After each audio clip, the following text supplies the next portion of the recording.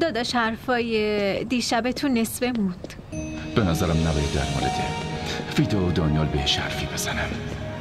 هی با شما بودم ها آه، آهان حرفای دیشب. آره حرفای دیشب. خودتون رو به اون راه نزنین. به هم بگین اون کیه. اون اون یه, یه دختری بود دیگه. کدوم دختر؟ کی بود؟ بالاخره یه اسم که داره. آه، آیزا من یه همکلاسی دارم که خیلی وقت با هم دیگه ایم. هم کلاسی شماست و من نمی‌شناسم. تو که میشناسیش. هم کلاسی تونه من هم اونو می‌شناسم. نکنه دارین مینا رو میگین. آره مینا در مورد مینا حرف می‌زدم. ولی اون که انگلیس زندگی می‌کنه. آره ولی برگشته اون روز اومد بیمارستان و همدیگر رو دیدیم آره داداش چقدر شما بدین. موضوع مال خیلی وقت پیشه و شما هیچی نگفتین من فکر می‌کردم که تو احتمالا می‌دونی. چون آیزا خانم همیشه از همه چیز باخبره. آره درسته.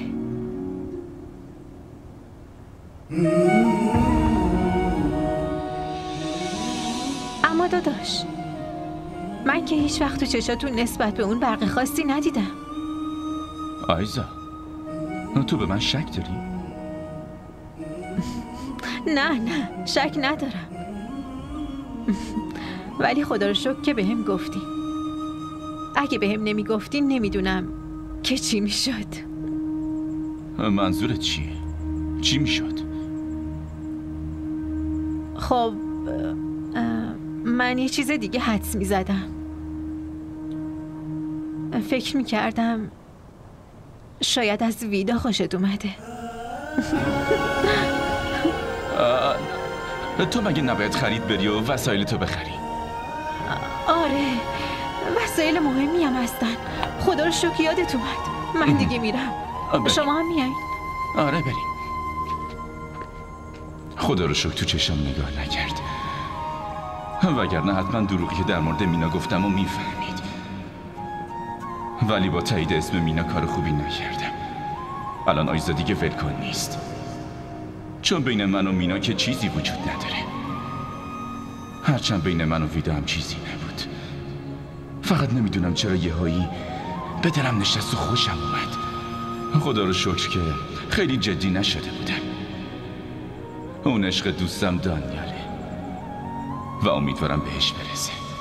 خب دل منم که بالاخره باهاش کنار میاد. داداش باز دیگه چی شد؟ الان دیگه. اومدم. چرا شما همش تو فکرین؟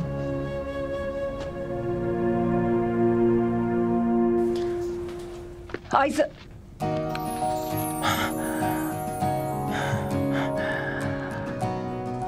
آ- معذرت می‌خوام. فکر کردم آیزا اینجاست. اون احتمالا دیگه می‌رسه هر دوتاشون با همن و میان اینجا. بفرمایید بفرمایید بشینید.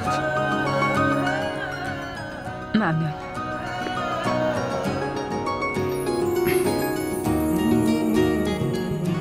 من دنبال آیزا میگشتم اما تو اتاقش نبود. دکتر اسکندر هم نبود. آیزا الان تو راهه احتمالا دیگه می‌رسه.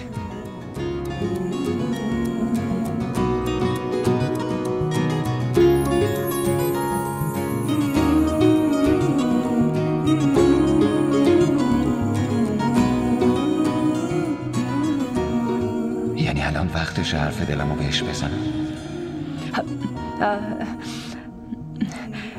راستی بهتر شدی؟ با خوبم. جای زخمتون که درد نمی‌کنه. نه نه نه. زخم کوچیکیه و زیاد درد نداره اصلا. خدا رو شکر.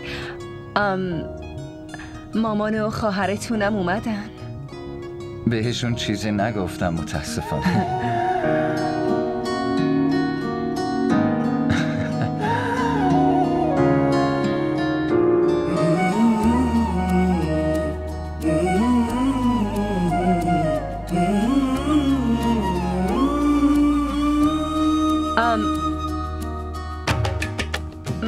کاری می‌کنم. میرم تو اتاق. خود آیزا منتظرش میمونم. دیگه الانم میاد. با اجازت. ویدا بله. من می‌خوام با هاتون یکم صحبت خصوصی انجام بدم. با من؟ بله. اسکندر بیا تو بیا کی اومدید؟ ویدا هم دنبال آیزا بود. دکتر آیزا تو اتاقش نیست. آره. آیزا رفته خرید الان میاد. چیزی می‌خواستی؟ شما لطفا بفرمایید. نه تو اتاقش منتظر میمونم.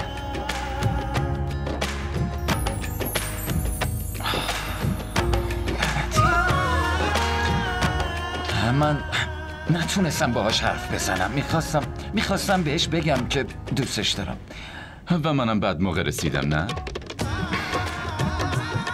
دوست من این چه حرفیه که می‌زنی از دست تو باشه حالا انقدر اخم نکن. به یه بهونه خونه برسیمش. تو رو هم باهاش حرف بزن. روز چطور میگذره؟ خیلی عالیه. کارمونو دوست داری؟ آره خیلی دوستش دارم.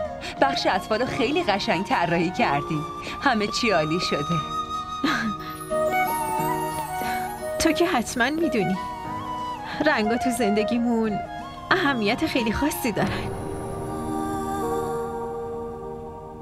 احساسات و عواطفمون رو یهویی تغییر میدن. آره. ولی برای ما نه.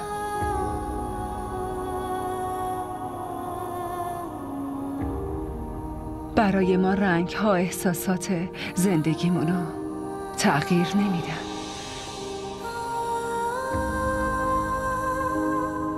بلکه تقدیر همه چی عوض می‌کنه. اگه تقدیرت خوب نباشه پس زندگی رنگی نه بلکه بی رنگ میگذره.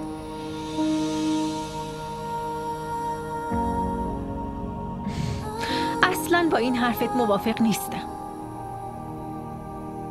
ببین ویدا آدما رنگ زندگیشونو با آرزو و امید درست می‌کنن. وگرنه ناامیدی همه رنگا رو بیرنگ می‌کنه. اینم درسته. ولش کن. داشتیم در مورد بچه ها حرف می‌زدیم. و این خنده می‌دونی زیباترین رنگ دنیاست که ناامیدی و غمگینیمونو به خوشحالی تبدیل می‌کنه. باید خیلی چیزا از شما یاد بگیرم. شما نه و تو. تو دوستی این تعارفات نیست. اینم درس امروزته. عالیه فهمیدم استاد. بریم